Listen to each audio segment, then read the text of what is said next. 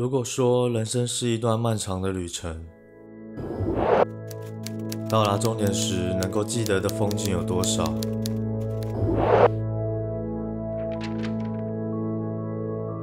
有什么值得珍惜？又有什么让人心碎？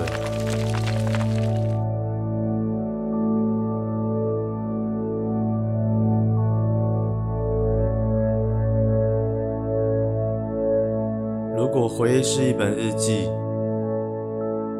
又有多少页你想要撕去？